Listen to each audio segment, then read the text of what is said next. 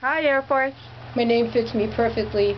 I tried to dive right off of the Denise's arms and onto the ground, but we rolled and tumbled and she held on and it all worked out.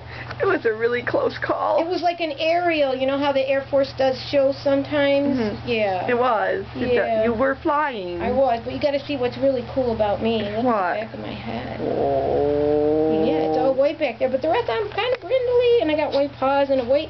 These guys, I think, have a white tip on their tail. Oh, oh they're cute. So he says, You're "No, cute. no, I don't know what's going on here because I'm out of the bucket, and now I'm just waiting for what happens next. Puppies were delivered in a bucket. In a bucket, yeah. All five of us just piled in on top of there like, I don't know, produce.